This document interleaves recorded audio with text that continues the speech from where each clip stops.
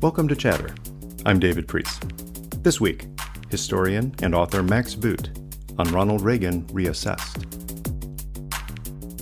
There are so many contradictions and dichotomies about Reagan, who was often accused of having simplistic views, but he could be really intensely ideological, and I think more so than most people realized. He was somehow able to draw kind of a, a, separating line between his rhetoric as a campaigner and his actions in office, where he was very far to the right as a campaigner, but he had actually moved pretty far to the center as both governor and, and, and president. He was often criticized for compromising, and he brushed it off because he said that's the nature of politics. You have to be realistic about what you can get, and if you're an absolutist, you're not going to get anything done.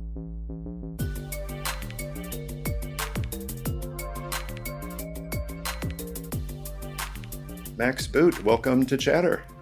Hmm, good to be here, David. It's great to be talking about this at this time because you have a new massive tome out because you just haven't written enough. You know, three books on war, a self reflection, a biography of Edward Lansdale, and you decided to take on one of the most iconic presidents and write hundreds upon hundreds of pages about the life and legend of Ronald Reagan you started this back in what 2012 or 2013 to the best of your memory what was on your mind then that drove you to start this?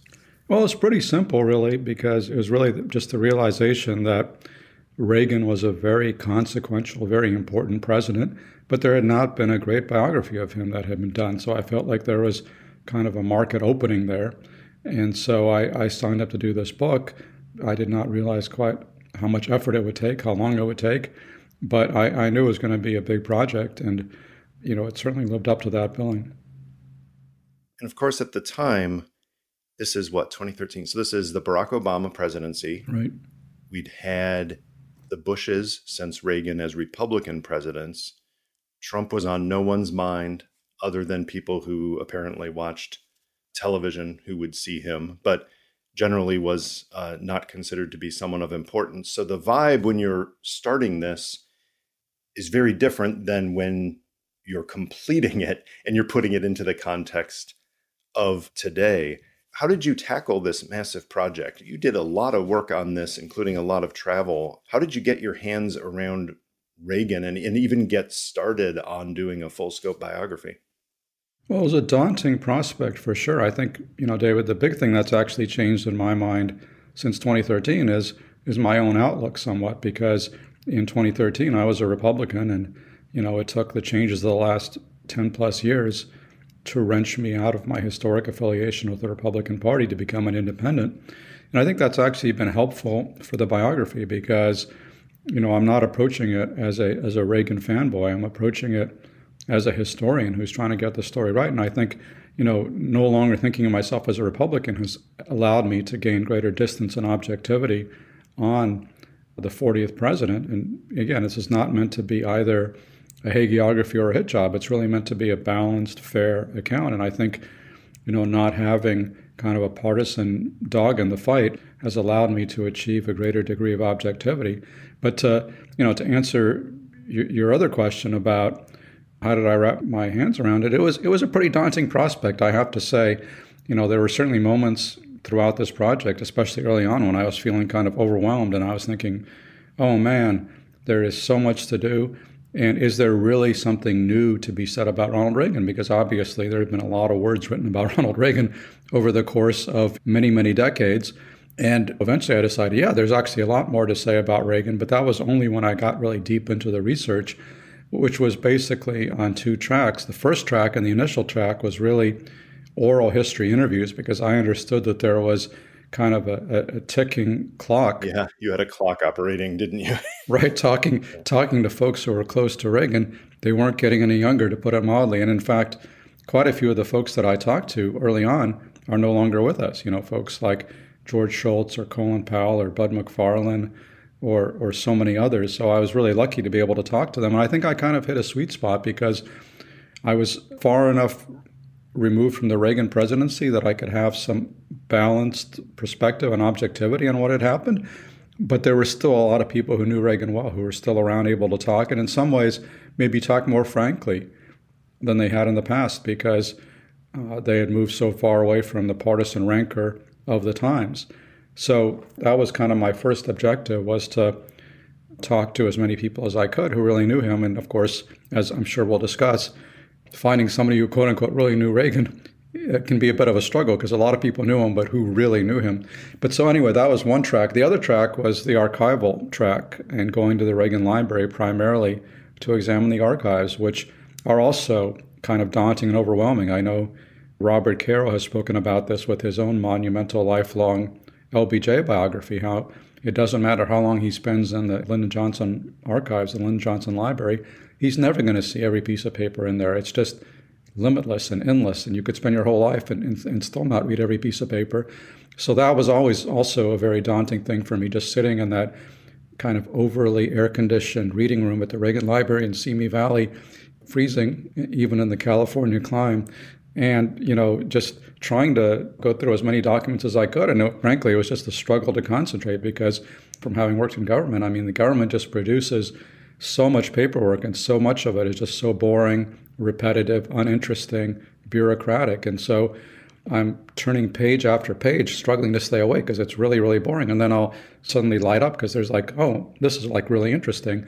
And there's something in there that I can really use and that really sheds light on Reagan. But it was definitely a challenge to a you know to to read as much as, as i could and i read thousands of pages but b just even to be selective in what i was reading because again you can't be indiscriminate you can't say like send me every file on Ronald Reagan because then I would be sitting there 30 years from now. So eh, I had to strategize and think about like whose files do I want to see, and then you know if I see something interesting in one file, then that'll say to me like, oh, maybe I should look at this other person's files and see what's there. And so it was kind of this ongoing archival kind of mystery story or, or investigation. So many questions in all of that, but what was the greatest gem you found in the archives because anybody who spends more than a few hours in the archives for any research project i think has the same experience you did which is monotony boredom taking as many pictures as possible because you can process them later you can't read them in real time or you'll be there for literally lifetimes but at some point you find the gem in my case it was at the kennedy library and looking for intelligence documents and things related to them i found a note that jackie had left for John Kennedy that seemingly was being used as a bookmark in his intelligence report that said, "Can you turn the TV down?" Um, just and it didn't appear to have been discovered before. Uh, what was the biggest gem you found? Well, there were a lot of gems. It's kind of hard to to choose one. I mean, it was fascinating just to read all of Reagan's personal letters, and that is one file where I read every single thing that was in there, everything that he had handwritten himself and you know, often later typed up by his secretaries, both as governor and as president, and even when he was out of office. And it was really just fascinating, a great insight into his mind. And he was a beautiful letter writer, which I know will surprise a lot of people. But his letters were always a pleasure to read, and he always found exactly the right words, whether he was expressing sympathy or anger or whatever the emotion was. He always found a very pithy and compelling way to phrase things. And I was also very struck by reading Ronald Reagan's love letters to Nancy, which he carefully saved and box after box. And it wasn't just love letters, it was also like every Thanksgiving, every Easter, every Christmas, every New Year's, every birthday, he would send her a card, a loving card. And he would go out and buy the card and write it up, and, and she would save it. And so, like decades of cards, decades of love letters, really fascinating insight because you know some cynics have suggested that there was something manufactured or kind of made for TV about their relationship, but obviously it was very genuine, deeply heartfelt, and went back to the beginnings of their relationship in the early 1950s. So that's just kind of two general categories, but there were also a lot of specific things, like not all of which cast Reagan in a good light. I mean, for example, I remember having an aha moment when I ran across a letter that he had written, I think it was in 1972, referencing some John Birch Society publications and how he had read them and found them to be very interesting. Well, I don't think anybody's ever reported that Reagan, as governor, was reading John Birch Society publications. That showed how he was kind of susceptible to crazy conspiracy mongering. And propaganda. Or, in a similar vein, a letter that he received as president from one of his old Hollywood pals in kind of red hunting days in the late 40s from the McCarthyite era. And this pal was telling him that Alan Cranston, Tom Bradley, and Willie Brown, who are all kind of mainstream Democrats in California, were all secret communists who were conspiring to sabotage Robert Bork's nomination to the Supreme Court on orders from Moscow. And this is like Looney Tune stuff, but he received it very politely and seemed to take it under serious advisement. But that actually cast more light on one of his chief associates from Hollywood days than it did on him. There were also, you know, as president, there were fascinating files that I read from one of the few African American staffers in the White House complaining about how the Reagan administration had alienated African Americans and how African Americans just felt ignored and slighted by the president. This was somebody who was a fan of the president, who worked for the president, but was trying to get senior White House officials with relatively little success to pay attention to how they were alienating minority communities. So those are, you know, just three random things that just came yeah. to mind. There's like a million other things in there that are equally fascinating. Those are good though, and they did stand out to me reading the book you know, it's amazing having read several biographies of Reagan and, you know, spent a lot of time in the archives myself and interviewing folks that I was surprised by many things, in part because this is a full biography and not focused on something narrow like intelligence or yeah. even national security. I mean, I think the highest compliment I received on the biography came from Reagan's kids, Ron Reagan and Patti Davis, who have both read the book and told me that not only did they like the book and they thought it was very fair and accurate, but they learn new stuff about their dad from the book, which I take as the highest compliment I can imagine. I mean, imagine learning something about your own parent from a book. Absolutely. One of the things I do want to get to in the substance here is talking about the the image of Reagan, Reagan as an icon in different ways, and how that relates to the actual experiences of Reagan. And one of those stood out to me when I was reading this. I remember John Negroponte, who was deputy national security advisor at the end of the Reagan experience, but had been ambassador and an assistant secretary of state before that. So had pretty intense experiences with Reagan in those last couple of years. And he told me that he never heard Reagan use profanity and that the idea of using profanity in front of the president was also just verboten. And yet you found moments, you found times when Reagan did and just how much that stands out. So it's almost the exception that proves the rule that he was a very um, almost polite, genteel person. He was very personable face to face to the extreme that he avoided profanity most of the time. But when he used it, it, it really meant something. And, and that, that comes off the page in a way that does get to the personal and the image side of it really well. That's one of many fascinating aspects of him. And if you read his diary, he would not even spell out mild curse words like hell and damn. He would do he would do the first and last letters and then not fill in what's in, in the middle because yeah. he thought this would be offensive. And, but you're right, he did occasionally curse. He certainly got mad occasionally. And this was actually something I asked a lot of people about. This was actually one of the questions I kept asking. You know, obviously Reagan was a very mild mannered, very low key person uh, who seldom flew off the handle, but have you ever seen him get mad or like really furious about something? And that would often produce, you know, a very interesting answer about what really got him exercised. For example, I just remember in 1976 when he was running against Gerald Ford for the Republican nomination, and one of Ford's chief strategists was Reagan's former strategist, Stu Spencer, who was one of, also one of my best sources I would add for the book. And I remember hearing about how Spencer working for Ford, put up a very effective campaign commercial basically suggesting that Reagan as president if he becomes president could be a warmonger and raising you know questions about his fitness to be commander in chief. And that was one where Reagan did get pretty teed off and you know was like pounding the bulkhead of the airplane and just furious that Spencer had done that to him. So there were not many examples of him losing his temper but the ones that were out there were certainly telling Right on.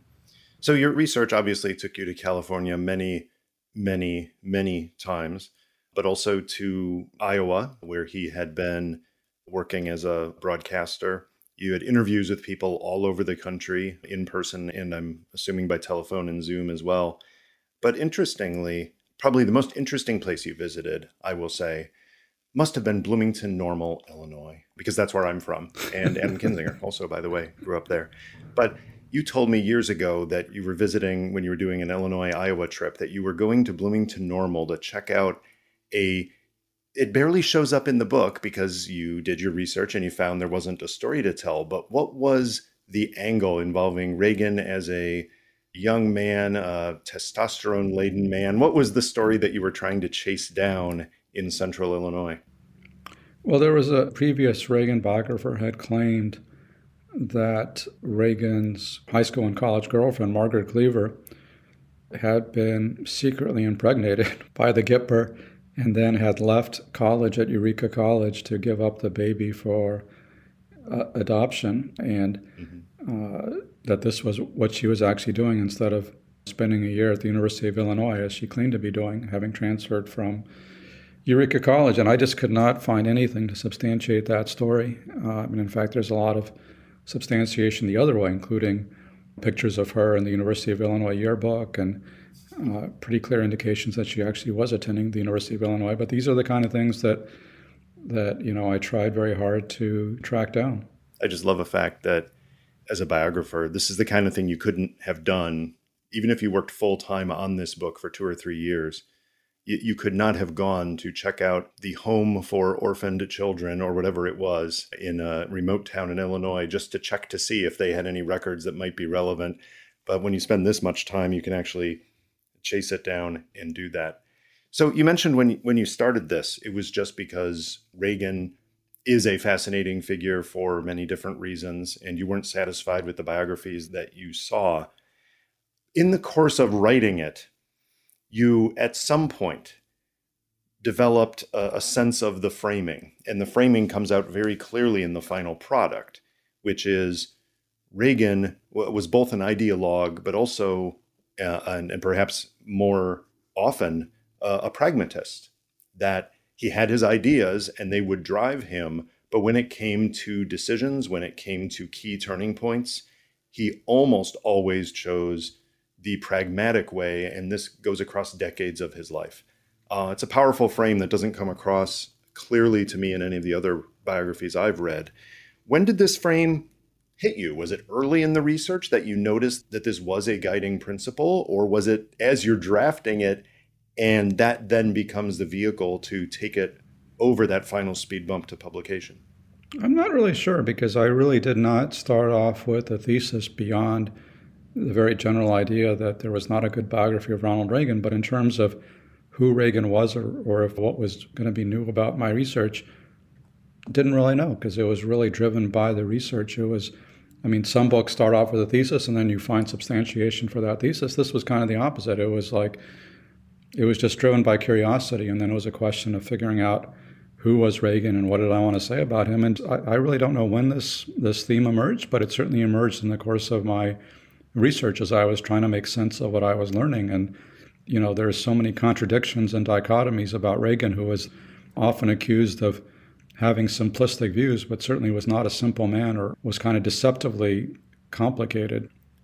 He looked simple on the surface, but there was a lot underneath the surface. And but so I think this is one of the core contradictions of Reagan, or one of the core realities that you have to struggle with as a Reagan biographer, is that he could be really intensely ideological, and I think more so than most people realized because most of us tend to remember him as president when he was moving more to the center. But there was a previous Reagan who was very, very t- far to the right in the late 50s, early 60s, and, and even into the 70s, where he was often repeating John Birch Society conspiracy theories, accusing Democrats of leading America to communism, suggesting that Medicare and Medicaid would lead to the destruction of freedom in America, opposing civil rights laws like the 1964 Civil Rights Act or the 1965 Voting Rights Act, kind of winking at white bigots with phrases about law and order and welfare queens and states' rights and all the rest. There were real reasons why, when he was elected governor and, and especially president, a lot of liberals thought, wow, this is really scary. This guy can blow up the world. He can do horrible things. He's going to cast widows and orphans into the snow. It's going to be this this horrible right wing hellscape. Basically, that was kind of the the fear that many had, and in office, he acted in ways that were very much counter to those perceptions, such that, again, some of the more fascinating interviews I had was just asking Jerry Brown, the former governor of California, Willie Brown, the former Speaker of the California Assembly, what did they think of Reagan as governor? And they both told me he was actually a pretty good governor. He was he was actually pretty centrist. And by comparison, a lot of right wingers in California were very frustrated with Reagan as governor and thought, you know, he was some kind of Manchurian candidate, had sold them out, was not acting as they expected. And there was, you know, a lot of repetition of that when he became president as well, where and this is something that a lot of conservatives don't want to remember today, but one of the consistent themes of his presidency was that conservatives kept accusing Ronald Reagan of being a sellout, in particular in foreign policy, where they never thought he was tough enough on the Soviet Union. And I uncovered this kind of amusing 1982 op ed in the New York Times from Norman Podhoretz, the editor of Commentary. You know, the title was Why neocons are so disappointed with the Reagan foreign policy, which is kind of ironic because, of course, today conservatives think that Ronald Reagan was the gold standard of foreign policy and everything else. But the reality was, if you actually look at the historical record and not succumb to kind of the nostalgia that, that surrounds Reagan, the reality was he had actually moved pretty far to the center as both governor and, and president, doing things like raising taxes, as governor signing a very liberal abortion law, as president cutting deals with Tip O'Neill and Mikhail Gorbachev, all these things that were huge disappointments to a lot of conservatives. But that was who Reagan was. So he was somehow able, and this is one, I think one of the central mysteries of Ronald Reagan, he was somehow able to draw kind of a, a separating line between his rhetoric as a campaigner and, and a speaker and his actions in office, where he was very far to the right as a campaigner, but shifted to the center and governed very pragmatically, making deals with Democrats that I think that's what really enabled his governorship and, and his presidency to be as successful as they were. Absolutely. And that does come out clearly across many different stories. And I do want to talk about those stories and talk about several times in Reagan's life that you dive deeply into and the related themes.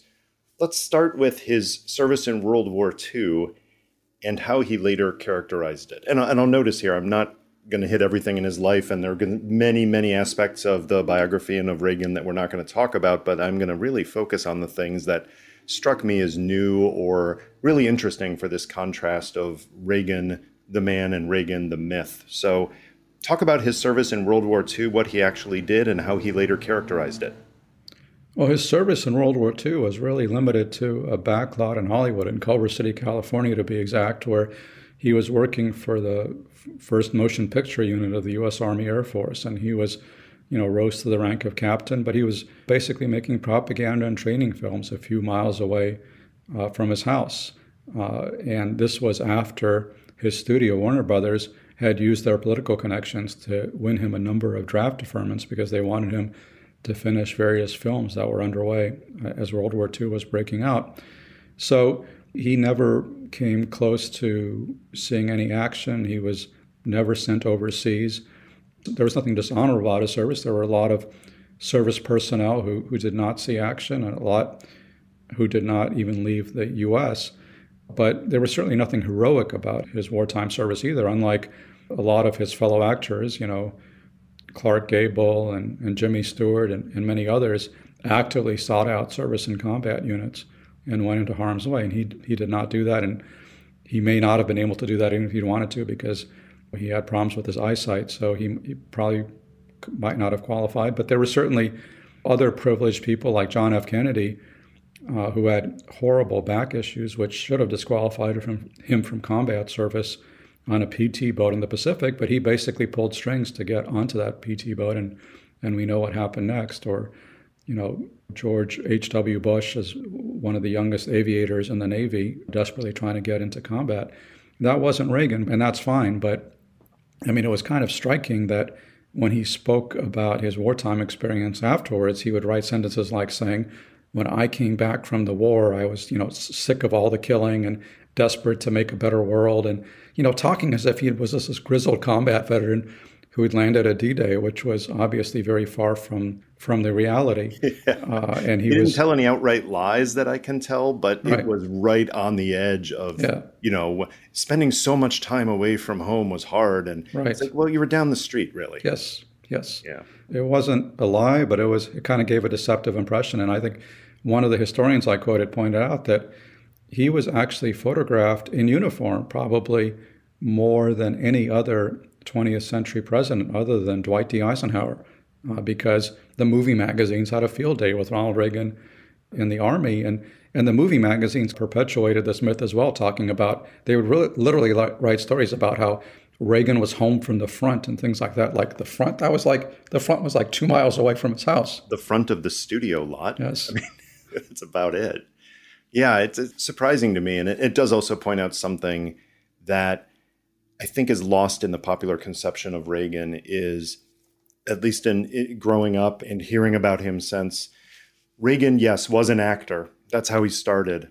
But the impression I always had is he was always a B actor at best and sometimes almost a comically bad actor. And what your book reminded me is no, actually, there was a brief window where he was in the top tier. And but for a couple of breaks, he he could have been in Casablanca. He would have been with perhaps one more hit in a perpetual tier, perhaps decades of a listing. Um, but he he was not a failed actor by any means at that point. I mean, that was actually the cost that World War II exacted on him. And he was never at risk of losing his life, but he basically lost his career to some extent in World War II because, I mean, the bitter irony is that there were actors who were very heroic and sought out combat service, but there were also others like John Wayne who, you know, played this uber patriot on the screen, but who dodged the draft entirely. And his career actually took off during World War II because, in part, because all these other actors right. were in uniform and John Wayne wasn't. So he was actually making movies where he was playing, you know, Marines or soldiers, while his colleagues were actually real soldiers and real Marines. But Reagan, I mean, Reagan was not at either one of those extremes. He was you know, in uniform in the Air Force on a Hollywood backlot, but it still interrupted his civilian movie career. He was still making propaganda training movies.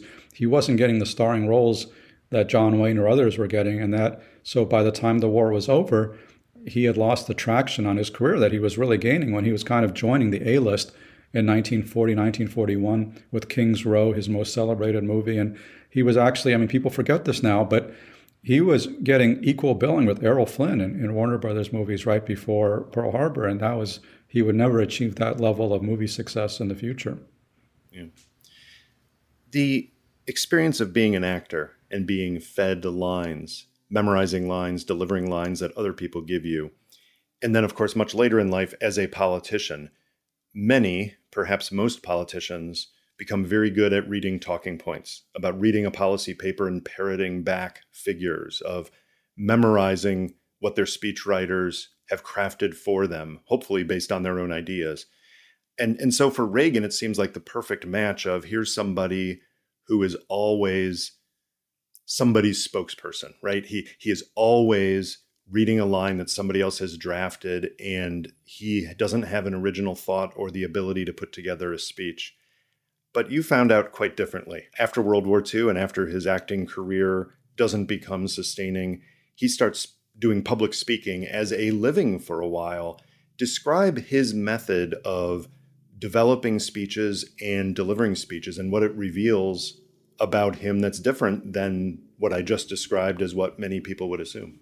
Yeah, the, the myth of Reagan is that he was just an actor who was reading lines fed to him by others, as you suggested. But the reality is that he was his own scriptwriter for the first few decades of his public speaking career. When he was speaking on behalf of General Electric in the 1950s, when he was the host of General Electric's show on TV, and he was also a spokesman for General Electric going from plant to plant, giving speeches, which was really his kind of training school as a politician. He didn't have anybody writing those speeches for him.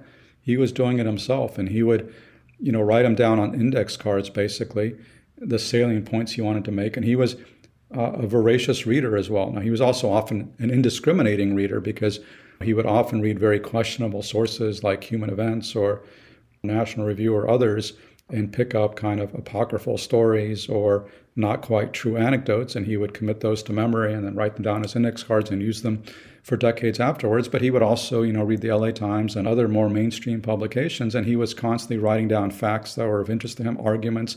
And he would give these speeches where he would basically shuffle his cards and shuffle them into new variations every time.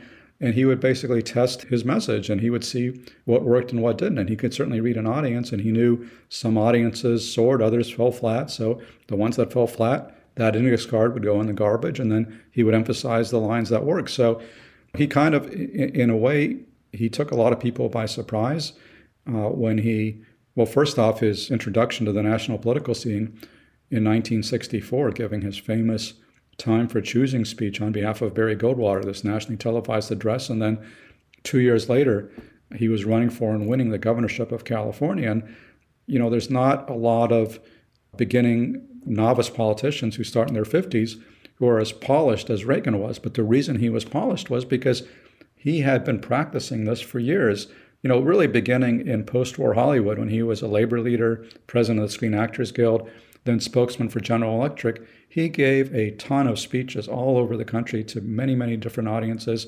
He was also a very polished TV performer. He was there have been only two U.S. presidents who were hosts of nationally televised shows before becoming president. One, of course, was Donald Trump with The Apprentice, but the other one was was Ronald Reagan uh, in the 1950s with his GE show. So uh, he was a very polished communicator, and it, it wasn't just reading other people's lines. He was really writing his own lines in those days. And in fact, Stu Spencer, his longtime political consultant going back to 1966, told me that Ronald Reagan was the best speechwriter he ever met, in part because Reagan really wrote sentences for the way that people heard them and listened to them. He wasn't writing for the way that people read them because, of course, his initial job out of college was as a radio broadcaster in Iowa. So he knew how to communicate orally, uh, whether it was on radio, television, or in person.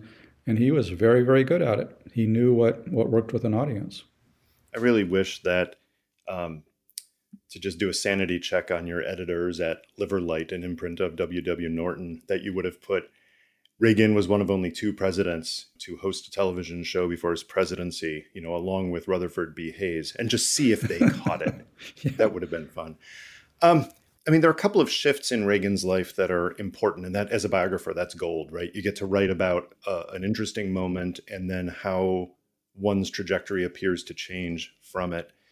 And you mentioned one there, right? The time to choosing speech, just the idea of going out and giving more political speeches and then suddenly you know within a matter of months you can almost count on your hands he's running for governor and then soon after he's considered a presidential or vice presidential candidate.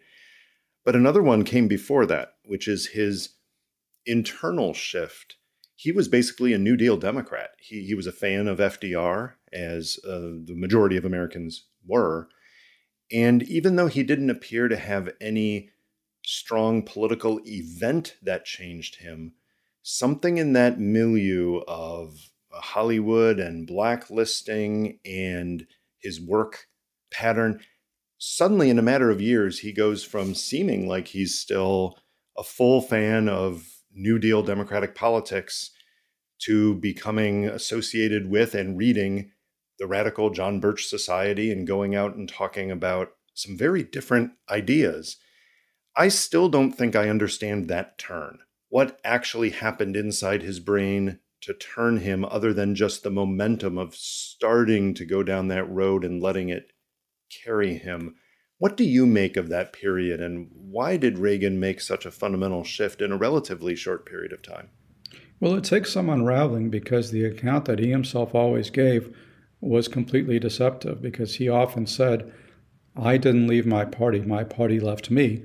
The implication being that he had been kind of a mainstream Democrat, and then the Democratic Party went so far to the left that he couldn't stomach that, and so he had to become a Republican just to stay in the center. But that is completely inaccurate because, in fact, the period of time when he became a conservative and a Republican was the 50s and early 60s, and the Democratic Party was very centrist, even conservative in that time. Remember, the leading Democrats in the 50s in Congress were Sam Rayburn and Lyndon Johnson.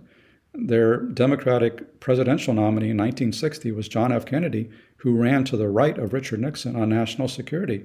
So this was a very hawkish, pro capitalist, anti communist party, the party that, in fact, created the containment policy and risked war with the Soviet Union or took the U.S. into war in, in Korea and Vietnam. So this was not some hard left turn by the Democratic Party. In fact, it was a hard right turn by Ronald Reagan, uh, which took him very far from his roots in the 1930s as a very committed and emotional New Dealer whose hero was Franklin Delano Roosevelt. And so the issue is why did he shift to the right?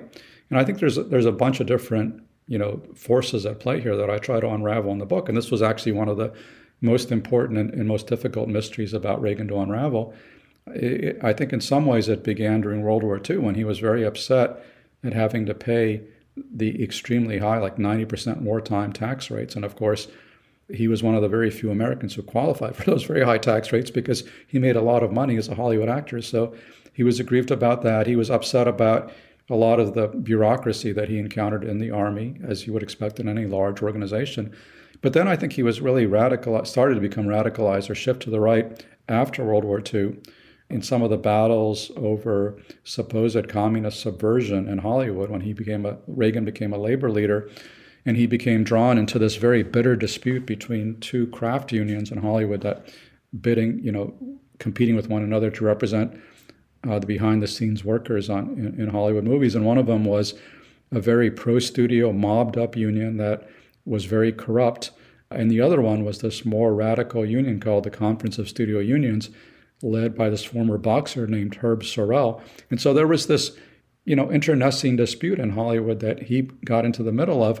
And the studios and the FBI and a lot of the red baiters in Hollywood, like his good friend, the gossip columnist Louella Parsons, all accused Herb Sorrell and the Conference of Studio Unions of being communist, of being part of a red attempt to take over Hollywood. And I looked into that very carefully. I really did not find any evidence to support that. I think it was just a, a battle between two different unions, one of whom happened to be a little bit more radical and the other one happened to be a little bit more corrupt. But it was this was cast as this epic good versus evil battle to stop a communist takeover of Hollywood. And Reagan bought it hook, line, and sinker in part because the FBI told him this was the case. And of course, the FBI was very much in, in, in red baiting, red hunting mode in those days.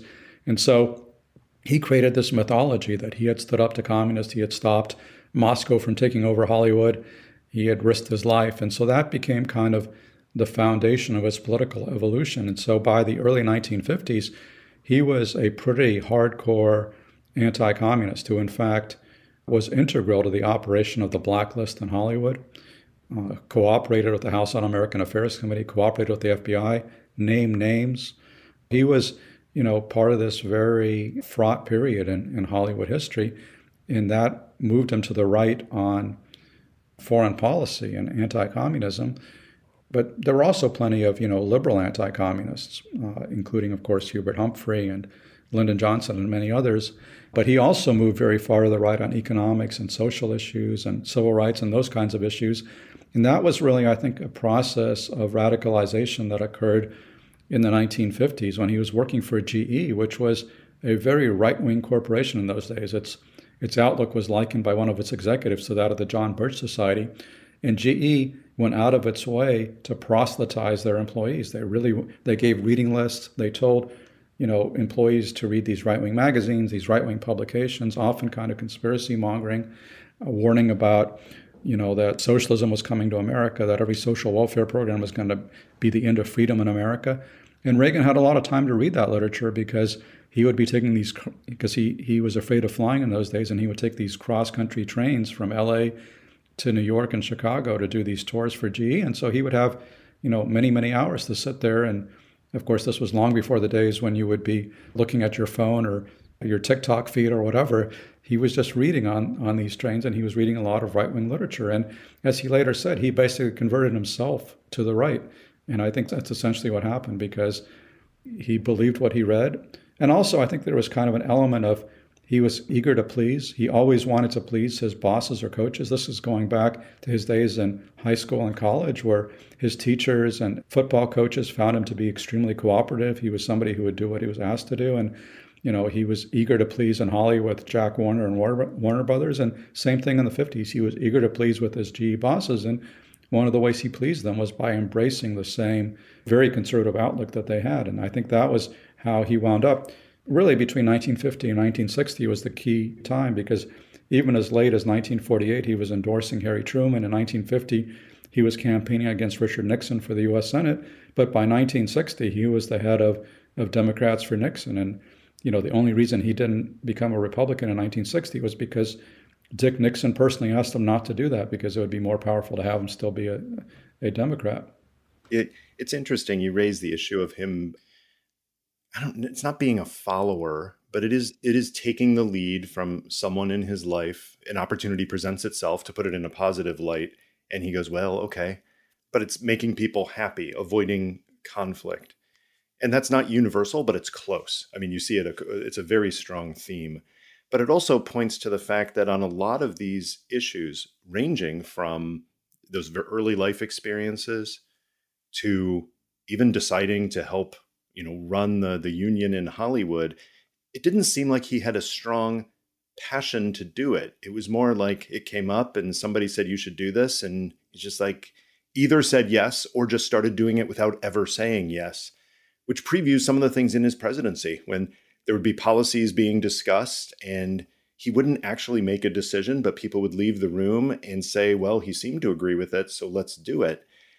It seems like he really stands up to the quote that I found recently from Abraham Lincoln I attempt no compliment to my own sagacity. I claim not to have controlled events, but confess plainly that events have controlled me. And that kind of felt like what happened in a lot of ways to, to Reagan as opportunities presented themselves and advisors said, well, you know, you really should challenge Gerald Ford for the presidency in 1976. And it's it's not clear that he sat down and had a rational strategy meeting to decide the pros and cons. He just kind of went into it. And I'm wondering what that revealed to you. you you've studied presidential decision making a lot, especially in foreign policy. And most go through maybe not an Eisenhower level rigor of long strategy meetings and deciding it and getting inputs from everybody. But that really is the NSC process now to very much do that before a decision reaches the president and then get, in the case of a covert action finding, at least a formal presidential signature to do it. Reagan's style was different and it really echoed his experiences in his life, didn't it? Yeah, the way I would put it is that I think Reagan was a great leader and certainly an inspirational leader, but he was a pretty poor manager and he had a lot of trouble sorting out conflicting advice. And that was something that I think became increasingly problematic when he was president, especially in areas where he didn't know a heck of a lot, like, for example, the Middle East. I mean, he studied the Soviet Union and communism for decades, but he knew next to nothing about the Middle East. And his one visit to the region was a very brief trip to Iran in the 1970s. So he had very little information base when dealing with very complicated issues like the Israeli invasion of Lebanon in 1982, which eventually led to this terrible tragedy of U.S. Marines going in there as quote unquote peacekeepers. And in 1983, the terrible bombing of the Marine barracks in Beirut, which killed you know, 241 Marines. Uh, a lot of that was just one mistake after another in part because Reagan was getting very conflicting advice from Secretary of State George Shultz and, and, Defense Secretary Cap Weinberger. Those two guys were always, almost always, completely at odds with one another. And Reagan would listen to them and he didn't know how to sort it out. He would just say, Well, you're both my friends. You guys figure it out, basically. And so the result was not making the hard decisions, papering over disagreements, and kind of taking the path of least resistance which sometimes worked, but sometimes led to disaster. And yeah, I mean that's that's kind of at odds with what the image of Reagan as being like this bold, fearless decision maker who would make the hard calls and would settle difficult issues and confront enemies and so forth. And he sometimes did that for sure, but at other times, you know, he tried to avoid uh, personality conflict. In fact, that was one of the dominant strains in his life. He hated personality conflict, whether it was with family members, his kids, for example, or with aides. And so he would often try to basically slide along the surface on this kind of surface amiability, where he would make everybody feel good with his quips and jokes and very charismatic guy. He certainly knew how to, you know, touch a chord in anybody he spoke with. But you know, often when he was doing that, he was actually evading kind of the hard decisions, not make, not really making the hard call. And so the result was, as as you said, his aides would often leave cabinet meetings or they would leave, you know, National Security Council meetings or leave the Oval Office, and they would have different ideas about what he had decided because he would kind of give everybody the the impression that he agreed with them, even when their advice was diametrically at odds. And so you had this after the Marine barracks bombing in 83, there was this endless dispute over whether the U.S. was going to retaliate by bombing these Iranian military against the installations in the Bekaa Valley, where apparently the bombing had been planned. And George Shultz was convinced, and Bud McFarlane, they were both convinced that Reagan had agreed in a meeting to bomb those installations. But Cap Weinberger, the defense secretary, was opposed to doing that. And he was convinced that Reagan never gave the execute order. So he never actually did it.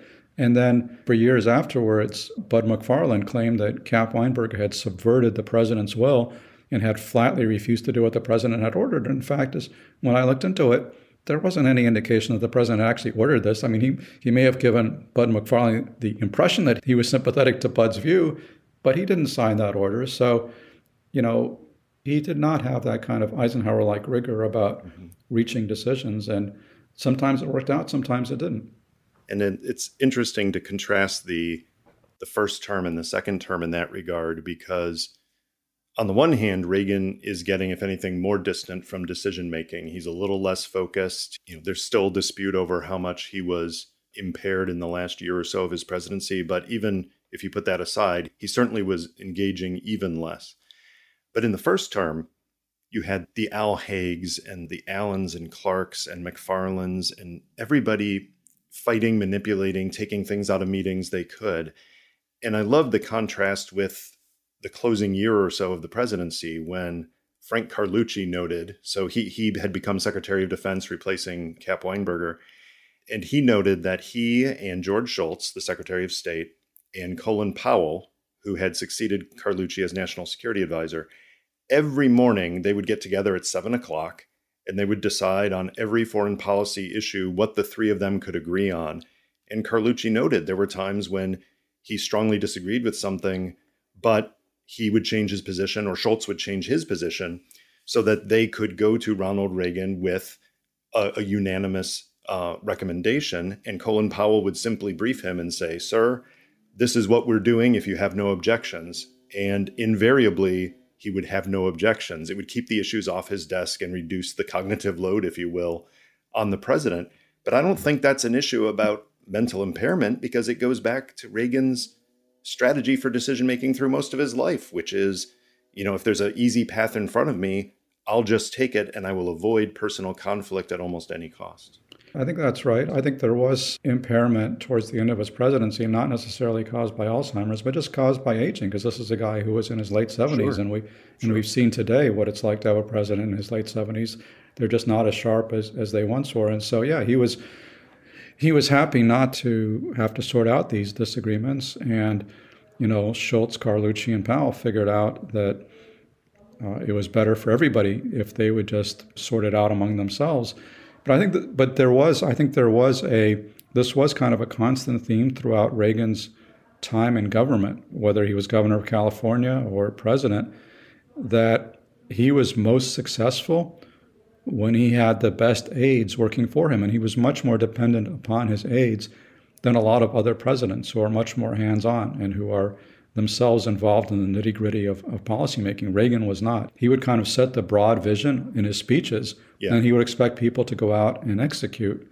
But sometimes they did, sometimes they didn't. So he was it was really at the mercy of his aides. And certainly during the first term as president, there was a massive amount of backbiting and disputes and leaking and bureaucratic politics in the White House because of this unwieldy triumvirate of Jim Baker, Ed Meese, and Mike Deaver, who were the top three aides in the White House.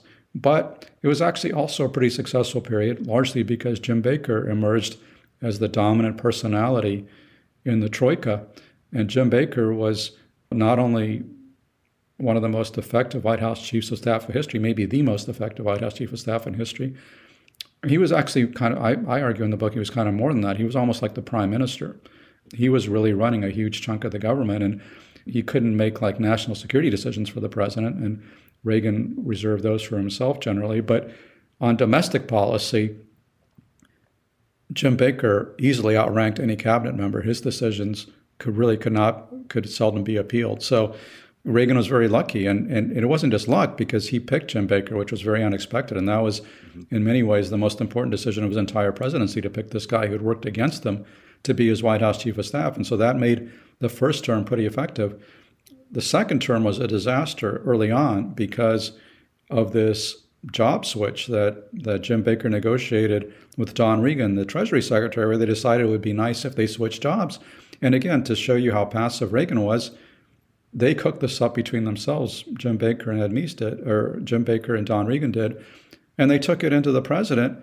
And he kind of signed off in a half an hour meeting in the Oval Office without asking a lot of questions. Basically, like, well, if you fellows think this is a good idea, sounds good to me. I mean, this was a hugely consequential decision because Don Regan turned out to be a horrible White House chief of staff. As as Jim Baker said to me, Don's problem was that he liked the chief part of the title, but he didn't understand that he was staff. So he was like this former, you know, Merrill Lynch CEO who thought he was going to be the CEO of, of Washington as well, but had horrible political instincts. And the result was the Iran Contra affair and, and various lesser uh, disasters. So Reagan was really in trouble while Don Regan was in charge. And then in the height of the Iran Contra affair, Nancy Reagan finally persuaded the president to fire Don Regan, which he hated to do.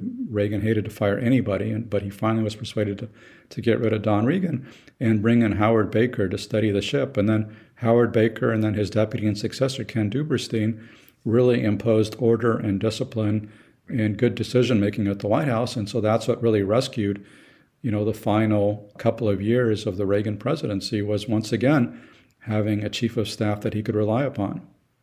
And it's especially ironic that you have a Jim Baker playing that role as somebody who had no personal connection to the president. He was friends with his political opponent in 1980, George H.W. Bush. And Reagan didn't yeah. really have anybody that was the true Reagan whisperer. Even Reagan himself probably did not understand Ronald Reagan. Nancy probably understood him better than he did, but obviously she was not going to have a formal role as chief of staff and operating the machinery of government, even though I think it, it's arguable that she had more influence on his decision making and certainly his pattern of decision making than anyone else. Yeah. If there had been no Jim Baker, I mean, we can run the counterfactual in our head and look at everyone else who was around, whether it was the Deavers or the Haigs or the Reagan presidency could have turned out very, very differently with just that one factor different. Absolutely, and that's that's why I say you know choosing Jim Baker was in many ways the most important decision of his presidency. And some of the people that that Jim Baker clashed with, like Bill Clark, the national security advisor, they complained, I think, with some justice, that the real troika it was not Meese, Baker, and Deaver. The real the real troika was Nancy Reagan, Jim Baker, and Mike Deaver. Those were really the people who were running the government in the White House because you know, Baker was was in charge of most things, and he was backed up by Nancy and Mike Deaver, who were the ones who had the closest relationship with the president, the personal closest personal relationship with the president. I want to get back to image again now that we're in the presidency. So Reagan wasn't quite at the Charlton Heston level of doing one-armed push-ups on a stage while he was president, but for a man of his age, he was in pretty good shape, right? He would do the horseback riding, he would go and clear the ranch, and he probably was, he certainly presented himself as one of the more fit presidents. At the same time, in the early 80s, there was a dramatic shift in pop culture relating to national security. You had had for years movies like Apocalypse Now and The Deer Hunter, you know, very dark on the military experience and how corrupting and evil it is or the bumbling military like Stripes or uh, Private Benjamin and others like that. Um, and a lot of that is, of course, mixed in with feelings about Vietnam and um, America's role. But then that shift happens. Sometime around 82, 83, you really notice it. And it's taken time for Reagan to really use that image as president. And it's taken time for Hollywood to start producing films that they probably were greenlighting years earlier. But suddenly you're getting Rambo and you're getting Top Gun. And Rambo is dark too, yes. But it still shows an image of almost jingoistic, right? American heroism. Top Gun is in that category. You get to Iron Eagle and all of these others. When you looked at this, you're not doing a cultural history, you're doing a biography of Reagan, but you can't help but notice this that in the in a very short period of time, there is that shift from America dark, reflecting negatively upon itself and its role in the world, to America strong and proud. How did you think through that and see that through what Reagan did and how he was perceived in that first term? Well, in some ways, I think this was actually Reagan's most important achievement because if you look at other things for which he is credited, I mean, if you look at the economic recovery, for example, a lot of that, to be honest, was really Paul Volcker, the Fed chairman, who took inflation out of the economy. If you look at the end of the Cold War, for which he is again often credited, a lot of that was Mikhail Gorbachev and the changes he wrought in the Soviet Union. But the improvement in American morale, the lifting of America's spirits, the recovery from the dark days of the 1970s, that was really where I think Ronald Reagan played a central role because of his sunny, optimistic nature, his and his unfeigned faith in America as a shining city on a hill, his his patriotism, all these that was really where the values he learned growing up in the small town Midwest in the 19 teens and 20s, that's really where it paid off because he was there was not a cynical bone in Ronald Reagan's body, and he sincerely believed in, in the goodness of America. Now, as I point out, he often kind of glossed over some of the darker and more disreputable episodes in American history, mm-hmm. the whole, you know, the terrible denial of civil rights to African Americans, for example. But he had a very optimistic outlook on the world, which went back to his earliest days, really really taught by his, his mother Nellie to always look on the sunny side of life. And she was this inveterate, optimist, very religious woman who imbued him in this faith that everything would work out for the best. And that was kind of the secret of his political success, I would argue. And in fact, I suggest in the book that in, in, in that respect, he was very similar to his boyhood hero, FDR, because they were both imbued with this incredible sunniness, this optimism, this faith that everything would work out. And they were able to project that faith onto the entire country and to bring the country out of some very dark times, in part through the strength of their own character, the strength of their own belief, and their, and their ability to communicate those beliefs. And so I think what Reagan did in, the, in, the, in his first term was very important because he really helped America to recover from Watergate, from the de- defeat in Vietnam, from stagflation, from the Iran hostage crisis, all these disasters of the 1970s. And there, there was kind of a sense that Jimmy Carter was kind of dour. He was a downer, you know. He was lecturing people instead of inspiring them. And Reagan came in and he kind of restored this flag waving extravaganzas to the White House and made that a center mark of his presidency. And he really helped to restore morale in the military, which I think was very important, which had fallen, you know, from the 1970s.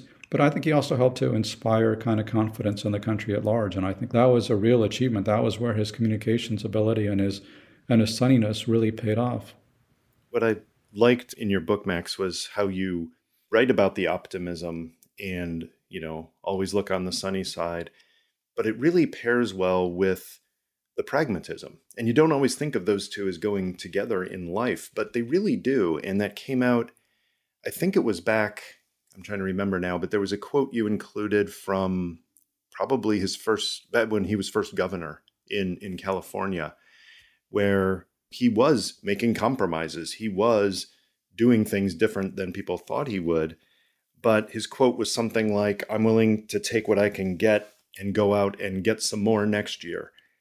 And that pragmatism, right? I need to reach a, a bargain now. I need to compromise to get 80% or 50% of what I want but I'll go out and get more next year. That's where the pragmatism meets the optimism. It's okay to compromise because things will work out in the end. Yeah, and, and Stu Spencer, who knew him very well, the way Stu explained it to me was that this was really this Midwestern ethic that he learned as a young man in the Midwest. That's actually one of the keys to Ronald Reagan because we, we of course, think of him as a Californian and as a Westerner, but he didn't move out to California until he was something like 27 years old. So he really was formed by the Midwest, by kind of Main Street USA. That's the way kind of Stu explained it. That's kind of the fundamental pragmatism of a farmer who wants to get $20 a bushel for his grain, can only get 15 or 10 and says, okay, well, I'll take it and, and hope for, you know, a better payday in the future. That was very much Ronald Reagan, you know, growing up not only with that faith in America, but also with that fundamental pragmatism. And he had, and, and very interesting to see how Reagan had nothing but contempt for conservatives who go over the cliff with their flags flying, which is the way that he put it. That's a quote, uh, because he was often criticized for compromising, and he kind of brushed it off because he said that's, you know, that's the nature of politics. You have to be realistic about what you can get, and if you're an absolutist, you're not going to get anything done, and that's, you know, that's very different from uh, a lot of what you hear from Reagan's successors in the Republican Party today, who view uh, compromise as a synonym for betrayal. You mentioned something in there that uh, makes me want to go back in time because I think people need to hear this. I certainly had forgotten it from earlier biographies, but Reagan did get the idea in high school and into college that it'd be fun to go to Hollywood and be an actor. But he found an actual, for, for the times, the Depression era, he was doing really well in the Midwest doing broadcasting, making salaries that were allowing him as a very young man to support his family and live much better than probably the top 5% of, of Americans at that time in that area. Yeah. Um, and yet he found an opportunity to get to Hollywood and stay there. So what, what opportunity came up that allowed him the chance to visit Southern California and, and how did he translate that into acting? Well, one of the myths of Reagan, which he propagated himself, was that he never had any kind of personal ego or ambition, that this opportunities just kind of fell in his lap and he felt compelled to take advantage of them because that's what people asked him to do. And, you know, I will say that he was less egotistical than a lot of people who become president of the United States, but, and certainly more self effacing. But underneath the surface, there was this kind of burning ambition to succeed where, you know, he told his fraternity brothers at Eureka College that within a few years, he'd be making $5,000 a year, which was big money at, at the height of the Great Depression. Uh, so he was not satisfied with kind of settling down in his hometown and living this quiet, uneventful life. He did have these ambitions of going to Hollywood. He didn't know how to get there from, you know, Dixon, Illinois at the height of the Great Depression.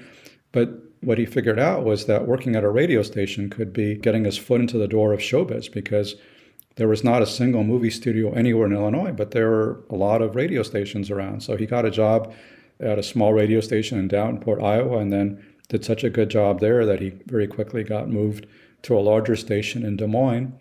And he became the voice of the Chicago Cubs throughout the Midwest, known as Dutch Reagan, became a very well known sportscaster. And then he got the bright idea of asking the station owner to send him with the Cubs on their spring training to Catalina Island off the coast of California.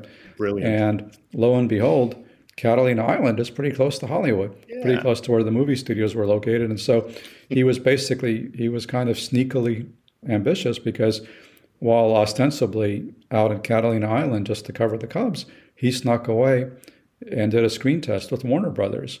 And that's how his Hollywood career began. That's a great example to counter the earlier idea I had of him just being carried away by whatever came to him. That one, he seems to have engineered it pretty well himself. So, okay, back to the presidency. You you have read and written quite a bit about Reagan's presidency before. Having looked at all of this, having put his presidency and especially his foreign policy uh, into the context of his overall life, did you look a little bit differently, in particular, at the relationship with the Soviet Union and what ultimately became the end of the Cold War.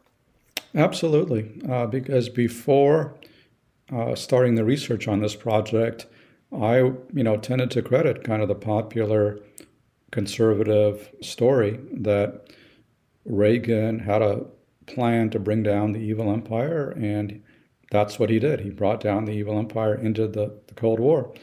But as I got deeper and deeper into the research for this and, and learned more and more, it very quickly became apparent to me that that was a complete oversimplification and, and, and not accurate at all. In fact, I asked George Shultz that very question. I said, Hey, did you have a secret plan to, to win the Cold War? And he said, Well, I wish we did, but we didn't. Uh, we had a general attitude of peace through strength, but we certainly didn't have any idea that we were going to bring down the Soviet Union. And the reality is, if Mikhail Gorbachev had not become General Secretary of the Communist Party in 1985, the Soviet Union might still exist. And that's not a very far fetched concept because, in some ways, Putin has revived the Soviet Union, at least within, within Russia itself. So uh, there wasn't anything inevitable about the collapse of the Soviet Union. And I don't think it was caused by Reagan's defense buildup or his aid to freedom fighters in Afghanistan or Nicaragua or whatever. He did a lot of things that, that put pressure on the Soviet Union for sure. But he also did a lot of things that took pressure off the Soviet Union, which his admirers often forget. For example, when he came in in 1981, he lifted the grain embargo that Carter had imposed after the Soviet invasion of Afghanistan. And after the imposition of martial law in Poland in December of 1981, Reagan briefly imposed sanctions on the Siberian gas pipeline from the Soviet Union to Western Europe. And then he lifted the sanctions within less than a year because European allies were not very happy about it. So it's a gross oversimplification to say that he declared economic warfare on the Soviet Union or he had a plan to bring down the Soviet Union. That's not really the case. He did have a lot of hardline policies in the first term, but they weren't getting him very far because he was dealing with these implacable apparatchiks like Brezhnev, Andropov, and Chernenko, who were not going to compromise with him. His policy with the Soviet Union only became a great success and helped to end the Cold War because Gorbachev came into office in 85, and Gorbachev was a very different kind of communist leader who was determined to relax the communist dictatorship. He wanted to end the Cold War, he wanted to spend more on the civilian sector of the economy. And he wasn't doing that because he thought he was losing an arms race. He didn't want to be in an arms race in the first place. And that really came from his own experience, having lost faith in the Soviet system, even as he was rising up within that, that very system. So, you know, my conclusion was that Reagan was not really responsible for Gorbachev coming to power. He was not responsible for Gorbachev reforms. And it was really Gorbachev's reforms that led to the collapse of the Soviet Union. But what Reagan was responsible for, and this is back to his pragmatic streak, he was responsible for recognizing that Gorbachev was somebody he could do business with, as Margaret Thatcher told him. He recognized that Gorbachev was not just another hardline communist who was out to defeat the West, which is what a lot of people, including Cap Weinberger and Robert Gates and many others, they believed that to the end of the Reagan presidency. But Reagan did not because he met Gorbachev in Geneva in 1985 and he concluded that Gorbachev was somebody he could work with. And in fact, his Reagan's great achievement was to work with Gorbachev to peacefully end the Cold War. That's a monumental achievement, but it was really based not on confrontation with the Soviet Union, but on cooperation, which is completely different from the mythology you get from, example, this new Reagan movie or, or other sources of this Reagan legend. That's not what actually happened. And I think that it's a little older than that because it has set root in what I'll call the younger generation, which we can now say as wizened old men. But when I when I teach, I've taught undergrads, I've taught graduate students. When we talk about Reagan, unless they are really immersed in American political history and they've studied it, and we connect it to the Cold War, the general thought, not universal, but the general thought is Reagan built up the military, was tough on the Soviets, made it clear that they weren't going to win. And then George Bush was the pragmatist who ended the Cold War without a shot. And there are elements of truth in parts of those, but it doesn't really hold up as a as a unifying narrative there. It's more like, well, yes, there there were some things that were done in the 1980s that brought America back, but some of that was started under Jimmy Carter in terms of military buildup. But Reagan himself was the pragmatist who set the stage for the end of the Cold War. And yes, it could have turned out differently if someone other than Bush 41 followed him, somebody who wanted to rub the Russians' nose in it instead of finding a peaceful landing for the post Soviet states. But it's amazing how that narrative really has taken hold among generally educated people that Reagan was the tough cold warrior who forced the Soviet Union into submission and Bush saved it at the end. Yeah, that's the legend of Ronald Reagan. That's not the life. And I, as, Yeah. as we were discussing, the reality is very different and, and more interesting, and in many ways more flattering to Reagan. But this is the legend that has been propagated over many decades. One other thing I want to address uh, about Reagan, and this doesn't come out as much in your book, but I'm struck by the contrast, and there are many reasons for it, but I'm struck by the contrast between the post presidency of Richard Nixon and the post presidency of Ronald Reagan. And of course, there are also strong contrasts with the post presidencies of Carter and others, but I focus on Nixon and Reagan because they are similar in certain ways that make the comparison interesting. You know, both California, both grew up poor, both ended up right wing in some ways, but in some policies, not so much. Nixon, as a post president, never stopped. He was writing letters to every successor of his. He was having meetings with many of them. He was going on foreign trips. I mean, and Reagan himself, including right? Reagan, he was a constant font of advice to Reagan. Now, whether Reagan always wanted it or appreciated it, we can't tell. We can't get into Reagan's head. But Nixon was a presence for everyone, whether they wanted it or not. And he was still flying around talking to world leaders.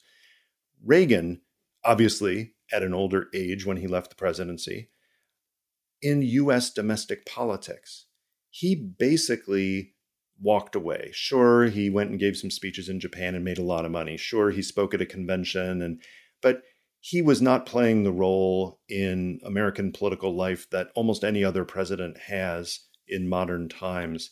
And I'm wondering what you think about that contrast and can we attribute all of that to to his age and condition or do you think that's part of who Ronald Reagan was that he did his bit, he played his role and he really just wanted to relax on the range?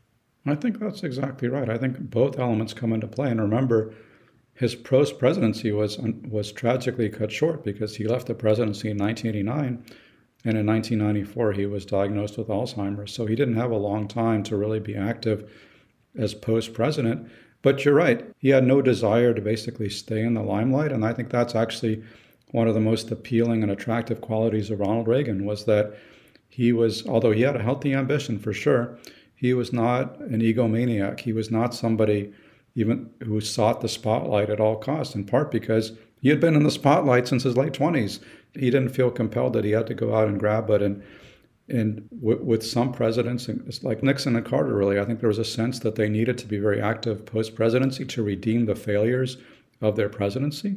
But of course, Reagan viewed himself, and I think most people viewed his presidency as being a success. So he didn't have a lot to prove after the presidency. And in fact, he looked more and more successful as time went by with the fall of the Berlin Wall, the collapse of the Soviet Union, America's emergence as the one great power in the world. So, you know, he was happy to bask in accolades, but he didn't go out and seek them. And he didn't really care about things like the Ronald Reagan Library, which was really Nancy Reagan's initiative. He didn't really care.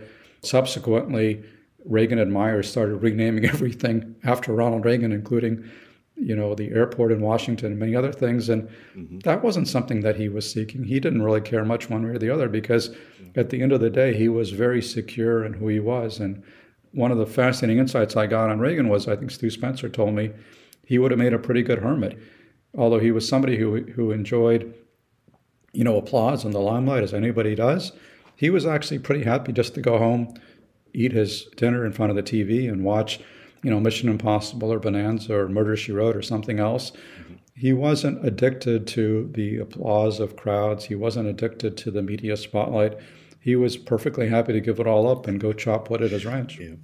Um, briefly about his his movies. I'm assuming you watched all or the vast majority of his films as part of your research. Yeah, I can't. I mean, I think he made like 54 feature films, so I cannot claim I saw every single one, but I saw most of them, and certainly all the notable ones.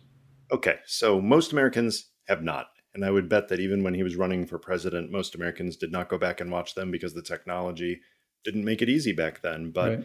from the relatively early ones, the you know Secret Service of the Air and the Code of the Secret Service, when he was playing the the young agent who was doing well, Brass Bancroft, yeah, Secret Service agent through Hell's Kitchen and Kings Row. Those those by, by the way were super cheesy and difficult to watch movies because those were B pictures even in Hollywood in the 30s. And most of those of the era were, but you're saying yeah, I mean, this, even... like the special effects, the production quality, yeah. it was really agonizing for people who are used to like the digital graphics of today.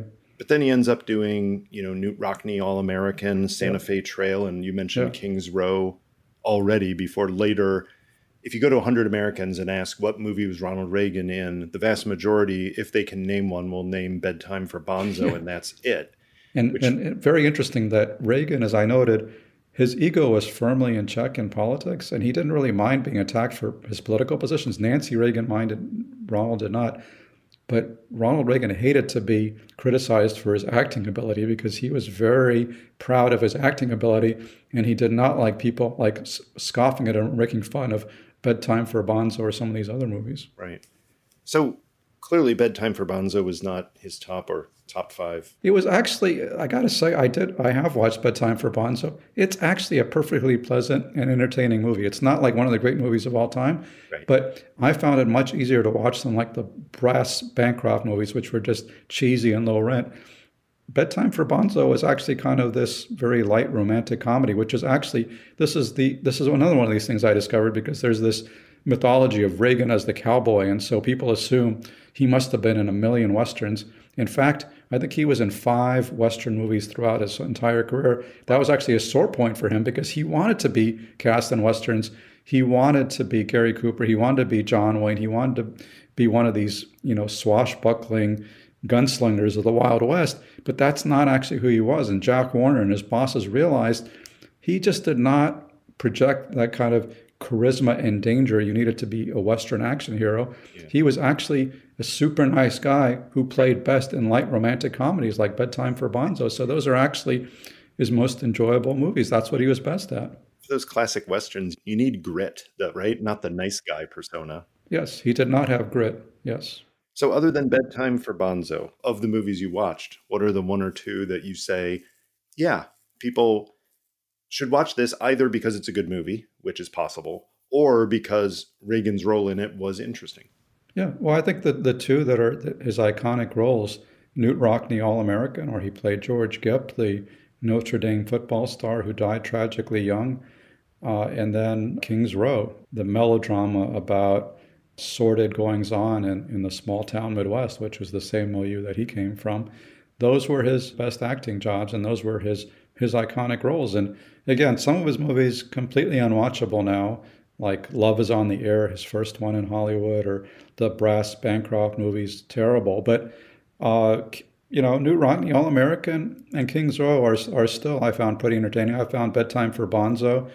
Uh, there was one where he played. Uh, Grover Cleveland Alexander, the great pitcher, which was also, I thought, pretty entertaining. And he enjoyed doing it because he loved playing sports. You know, I think there's a, there's a myth about what a terrible actor he was. He really wasn't. He was, he was actually a pretty decent professional actor. He was certainly not one of the all-time screen greats, but he was pretty confident within his range. And that, that was kind of the issue with him was he had a somewhat narrow range because essentially – he wanted to be Ronald Reagan on the screen. He did not want to play roles that made him look bad. So he had trouble giving the depth of characterization that you needed for more complex characters. And he certainly, I think in his entire career, he only played a villain once, and that was a complete disaster. He just didn't have it in him because he was just a nice guy. He wanted to play nice guys on the screen. And sometimes that worked, but it limited his range and limited his prospects in Hollywood at the end of the day. Well, now I'm going to put you on the spot because there's a question that occurs to me. It occurred to me when I was trying to write about Reagan um, and, and many, many others. But I'm going to ask you to come up with a question that if you had the chance to interview Ronald Reagan for this book, like any good biographer, you would have 10 years worth of questions, literally thousands of questions.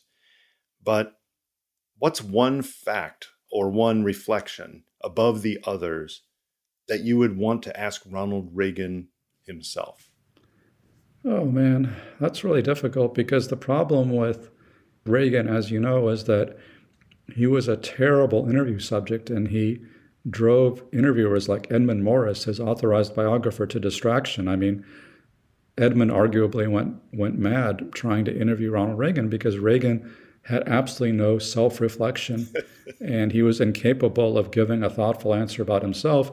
He would just go back to the same time worn anecdotes and stories and one liners that he had been repeating for decades. So, yeah, so you're thinking about what can you actually get insight or information from given that, and that narrows the range quite a bit. Exactly. So, that's a huge challenge. I can't really think of any question that I could ask Ronald Reagan that would probably tell me something I didn't know because people like Edmund Morris tried and tried and tried and they really didn't get anywhere because yeah. he just did not have that that ability to be self-reflective which is made which is I think part of what has made him such a challenging subject for biographers and that's what with Edmund Morris you know he inserted himself as a fictional character in Reagan's life, which was a crazy, crazy decision. Yeah. But it, I, I, think, in some ways, and I talked to Edmund, who, who, died recently, but Edmund, I think, was just kind of driven to distraction by Reagan's inability to get beneath the surface of his own life. Yeah, I'm with you. I think it would be a frustrating experience, very limited returns, and you'd have to choose your question carefully. It couldn't be something like, you know, in in August of 1981, when you made this decision, what were you thinking? No, that's not going to work. And it can't be, you know, if you had selected Jim Baker for national security advisor instead of, no, uh, the counterfactuals probably don't work either. Yeah. It's probably more like, you know, what did you like about Errol Flynn as an actor? Or, yeah. you know, what movie would you really have loved to be in? Something like that. You might yeah. get something out of him, but of course, that's not going to be compelling for the core issues of the biography. The irony is from having read all of Reagan's letters and diaries and all the rest of it, I can actually answer questions like that because he was actually, I think, most self revealing in writing letters, not in speaking, but in writing letters. Right. He actually gave a, an account of, of, you know, Errol's strengths, right. uh, weaknesses, and his attractiveness as, as an actor, but also his weaknesses. So I actually know what you nailed that. What what Reagan thought about Errol Flynn, but so it, the challenge is to find out, ask him something he hasn't already said, that he would offer new insights about. And oh man, that would be a huge challenge. I mean, I would have loved to have been able to do that, but right, I don't have a lot of confidence I would have gotten anything new out of him. Yeah, all right. I went to the gravesite, but he wasn't talking, so yep. I got nothing out of him. Now's the time in uh, the podcast when we reach into the chatterbox and pull out a random question for you. Max, recommend any recent book you've read, podcast you've listened to, or TV show you've watched, something that you think people would get something out of? Good question. Well, you know, I'm reading two books right now, both of which I like. Mm-hmm. One is The Great Unwinding by George Packer, which I think is really a masterpiece of nonfiction where Packer really writes almost novelistically about what's happened to America in the last 20 or 30 years with the loss of industry, mm-hmm. the, the huge economic changes, how these things affect individuals. And he tells the story through a series of lives. Uh, so I think it's a very compelling portrait of how 21st century America got the way it is. And it's, it's just a brilliant read, I think. The other thing I'm reading, which is a lot lighter, uh, is My Secret Addiction, which is that I'm addicted to Michael Connelly books. I love the Harry Bosch books. Uh, I'm reading a Renee Ballard book right now. I think uh, Connelly is a brilliant crime writer who I think was inspired by one of my favorite authors, Raymond Chandler, and kind of updated the Raymond Chandler PI and LA genre for, for a modern era. And I think they're actually terrific reads, but also the problem I often have with thrillers or crime novels or what have you is I often throw them down in disgust because they take such an unrealistic turn. They're so crazy, and I want things to be at least believable. And hmm. that's, I think, where Connelly really shines because although there's no detective in the world that would solve all these cases that Harry Bosch solves, but each individual one actually reads uh, pretty realistically and pretty believably. You can imagine that these things actually happen to somebody, and so that's kind of my my secret vice is Michael Connelly. Well, I will put links to those in the show notes so people can uh, see if they share your passion for those things. Um, but of course, I will also link to the massive but massively worthwhile new book, Reagan, His Life and Legend. Uh, Max, thanks for spending so much time chatting with me about it. I really appreciate it. It was a pleasure. Really interesting, in depth conversation. Enjoyed it.